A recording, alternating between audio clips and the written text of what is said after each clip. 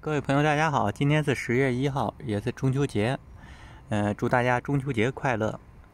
呃，俄勒冈这个 Happy Valley 欢乐谷这边是有雾霾天气。呃，加州纳帕烧了一万一千亩，然后呃，加州有一百多处大火吧。然后俄勒冈那也有，华盛顿这州也有。直接影响到了加拿大温哥华最适宜居住的城市，现在是变得烟雾弥漫。你看今天的霾的天气，地震未来两日是否群震很关键。待销售的呃房屋销量创历史新高，洛杉矶房价破表。你你交的税都被加州政府拿来做这个了。呃，加州是准备给。黑人奴隶后代赔钱了。国会为救纾困方案达成一致，为防政府关门。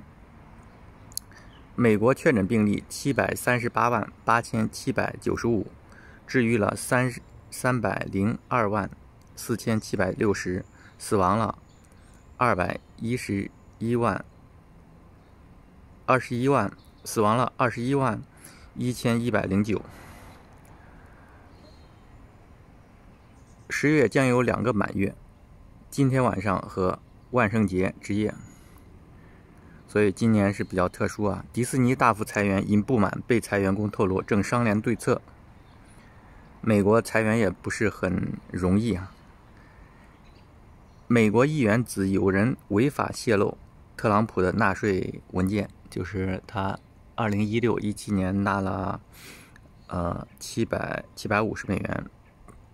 然后，外卖餐厅绝处逢生，公司订单拯救了部分小业主。纽森签了，加州或赔偿每位法每名非裔三十五万美元，这个很可怕呀。洛杉矶，R P H R A L P H S 等超市违规，面临监管部门巨额罚款。参议院周三通过政府资助计划，防止其在十二月关门。波班克扩大圣菲尔南多大道封闭范围，用于户外用餐。注意，特斯拉盗窃案大幅上升，零部件成为黑色的热销品。呈现出现狂犬病蝙蝠。加州立法给枪支子弹加指纹，执法者更易追踪。第一场总统辩论关于。医疗与新冠的事实与谎言。塞琳娜·戈麦斯以二百三十七万美元亏本出售洛杉矶的房产。第一场总统辩论，谁是赢家？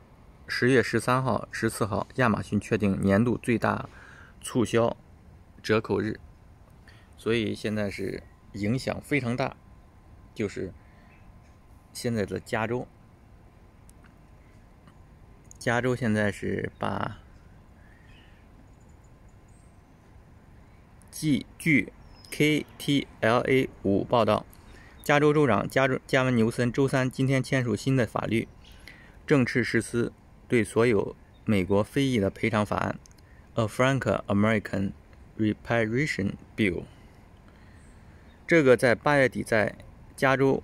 参议院以三十三比三高票通过的法案规定，将成立一个九人的特别工作组，负责就州政府如何向美国非裔提供赔偿、赔偿的形式以及谁有资格获得赔偿等问题提出建议。赔偿的对象不仅局限于历史上当过奴隶的本人，作为奴隶后裔的非裔也会被特殊的照顾。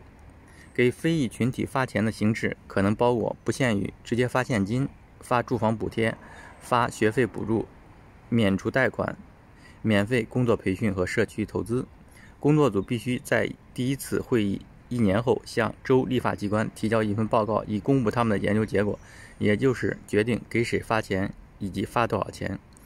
这个法案签署前，世界上首位非裔亿万富翁 Robert 杰杰汉逊曾经就表态，应该赔偿十四万亿美元。根据这个预算，按人头来说，现在嗯。美国的每个非裔都可以分到三十五万美元。其实，在历史上，加州政府从来没有批准过的奴隶制度，他于1850年以自由州的身份加入联邦。不过，加州确实允许拥有奴隶的白人将他们奴隶带到加州。立法机关甚至通过了一套法律，将逮捕逃跑的奴隶并将他归还给奴隶主成为合法。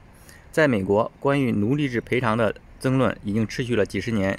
1989年，国会首次提出了一项类似的研究美国非裔赔偿法案的提案，该提案从未通过，直到国会去年就该提案举行了听证会。事实上，赔款在美国并非史无前例。二战后，美国政府部分资助了德国对大屠杀受害者的赔偿赔款。1988年，联邦政府为二战期间被关押在集中营的日裔美国人设立了一项赔偿计划。加州本年度已经有543亿美元的财政赤字。这项赔偿案虽然通过，其资金来源仍然是个谜。赔偿的最终数额尚未确定，但最终为此买单的也只能是加州的各位纳税人了。抗议升级，为什么非裔的抗议活动愈演愈烈？三个美警涉误杀非洲非裔女案，仅一人被控，多地示威。重磅：十二周休假资格放宽，薪资最高能拿百分之七十。纽森签署补偿法、通知法、工作保护法，保护工人。佩洛西说，直到达成新一轮纾困协议，众议院不会休会。感谢您的订阅，您的订阅是对我最大的支持。您的点赞和评论，我将及时回复给大家。谢谢您的收看，下次节目再见，拜拜。